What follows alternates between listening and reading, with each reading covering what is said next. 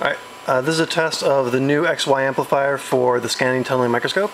Uh, we see here is just an Arduino, and this is my breadboard, uh, and this is right here the output of the DAC.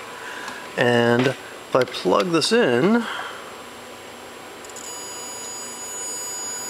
you'll notice that in the previous video it was almost inaudible, and now it's actually quite a loud buzz because uh, now we're actually receiving full plus minus 9 volts whereas before we were getting 0 to 5 volts so way better than we had before.